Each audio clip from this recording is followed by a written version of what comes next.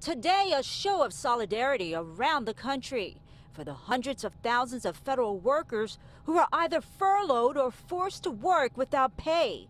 The harsh reality of the partial government shutdown. I feel like I'm just kind of stuck in a limbo where I can't work, but I also can't look for other work really because I want to go back to my job. Employees of the Environmental Protection Agency in Lower Manhattan bundled up to battle the cold while shouting out their frustrations.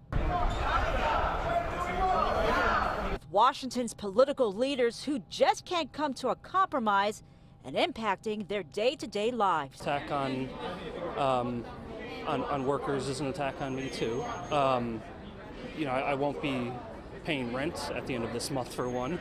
What do we want? End the shutdown. What do we want? End the shutdown. What do we want? End the shutdown. The same message can be heard here at this community job center on Staten Island. Catherine Gleason works for the National Park Service. I urge Washington, D.C. to put politics aside and reopen our government as soon as possible. We want to go back to work. Um, we want to go back to living our normal lives, and we really want to go back to serving our communities.